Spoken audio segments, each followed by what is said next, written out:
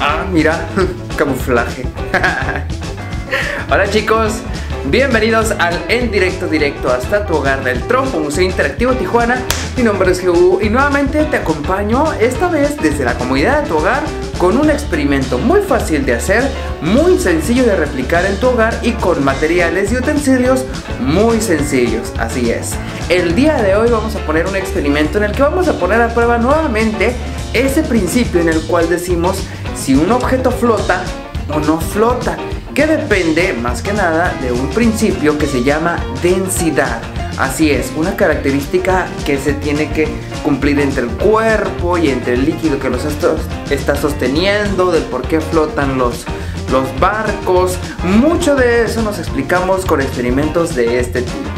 Y pues obviamente solamente vamos a necesitar tres, tres componentes para hacer este, este experimento. Así es. Vamos a ocupar, en un principio, pues ocupar una naranja, porque el día de hoy el experimento se llama la naranja submarina. Y para hacerlo a gran escala, para que tú lo puedas ver de, o lo puedas apreciar mejor en este video, lo vamos a hacer en un florero bastante grande. Es más, de, de acá un florero bastante grande para que lo pueda captar muy bien la cámara pero tú también lo puedes hacer en un vaso o lo puedes hacer también en un eh, recipiente o florero de cristal que sea un poco más chico, no pasa nada, pero que quepa perfectamente bien la naranja. Ahorita te vas a dar cuenta de qué estamos haciendo. Y aquí son solamente dos componentes, me falta el tercero, que es el agua. ¿Estás listo?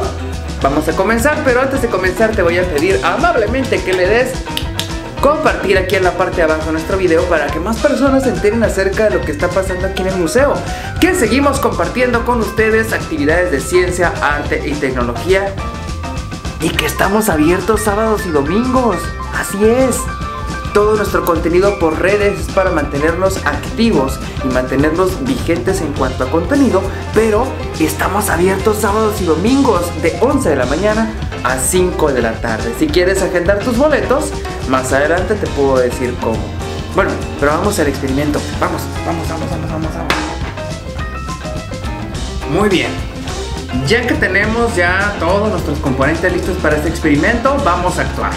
Ahora tenemos el florero, pero este está lleno de agua. ¿Te das cuenta? Ahí está, ahí Ahí está. No vamos a hacer como tal una ilusión óptica con él, aunque mira, por ahí se mira lo que hemos visto en otros experimentos. ¿Qué es lo que vamos a hacer? Poner a prueba la naranja submarina. Al principio, obviamente, vamos a aventar la naranja al agua común y corriente, así como ella está, con todos sus componentes, es decir, el ente completo de la naranja. Y observamos que la naranja pues está flotando en este momento es algo que a lo mejor tú ya te esperabas. La naranja está flotando, pero ¿qué pasará entonces si a esa naranja le quitamos un poquito de peso? Vamos a decir, eh, pues está la tensión superficial del agua que la está sosteniendo por ahí, la naranja está moviendo el agua, está manteniéndose flotando. Entonces, ¿qué, ¿qué te parece? Nada más está saliendo una parte de la naranja, queremos que salga toda que flote toda. Así que vamos a quitarle un poquito de peso a la naranja. ¿Qué te parece? Vamos a quitarle un poquito de peso, es decir, vamos a quitarle la armadura que tiene la naranja. Así que vamos a empezar a pelar la naranja en este momento. Bien facilito. Que este es un experimento que incluso puedes hacer pasar como predigis, predigestización. O sea, como un truco de magia, pero tú les das la explicación de... Eh, la explicación científica detrás de todo esto. Predidigitación. Sí, o sea, me hace falta un poquito de trabajo con esa pronunciación. Pero a final de cuentas estamos en un en directo. Vamos a quitarle esta armadura a esta naranja. Si te fijas, estoy utilizando la misma naranja y me estoy dando el tiempo en este video para que tú observes que estoy haciendo lo mismo que hicimos hace rato con el mismo fruto. ¿Sale? Que no lo estoy cambiando de ninguna manera. Listo. ya tiene menos peso. Esto ya debería flotar más arriba. Muy bien. Vamos a darle. 3, 2.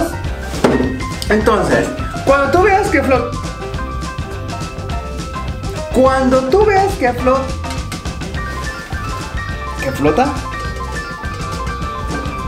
¿Que flota?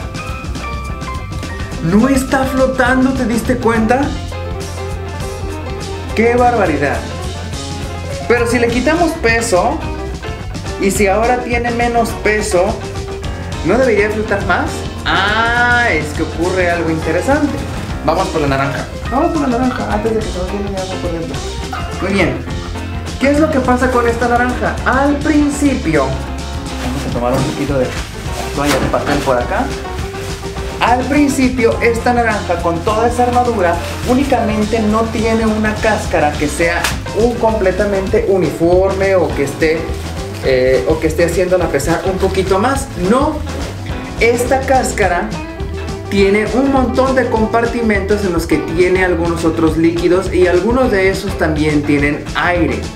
La naranja junto con su cáscara en conjunto es menos denso que el agua que está aquí adentro o el agua que tú utilizarías en este experimento en algún vaso, en un jarrón o lo que fuera. Como es menos denso, por eso tiene la habilidad de flotar, por eso puede flotar.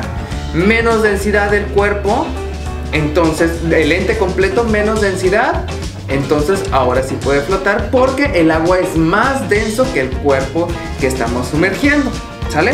Pero al momento en el que tú le quitas la cáscara, le quitas todas esas pues bondades o esas esas características que tenía propias de la cáscara. Le quitas los compartimentos, le quitas todo eso que tenía y el ente completo sin la cáscara resulta que por la glucosa y por los demás componentes que tiene este, este ente completo sin la cáscara es mucho más denso que el agua. Por al ser se va a hundir así como lo llegaste a ver.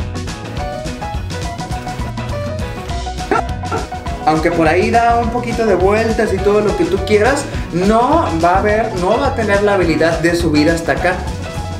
¿Por qué? Porque le quitaste todo el lente completo que la hacía menos densa junto con la cáscara.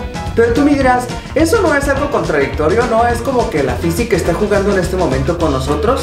No, recuerda que el hecho de que un objeto sea más grande por el hecho de tener cáscara y por el hecho de que sea más pequeño por el hecho de no tenerla, no tiene nada que ver cuando estamos hablando de densidades o de si un cuerpo puede flotar o no puede flotar.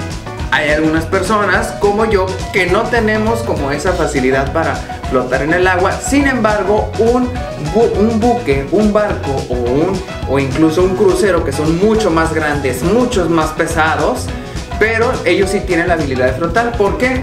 Por la forma en la que están compuestos de, el ente completo es menos denso que el agua, también por todo el agua que mueven, toda la extensión que mueven con su casco. De esa manera ellos aprenden a jugar con el cuerpo de agua donde se están sumergiendo. Igual, imagínate un poquito más.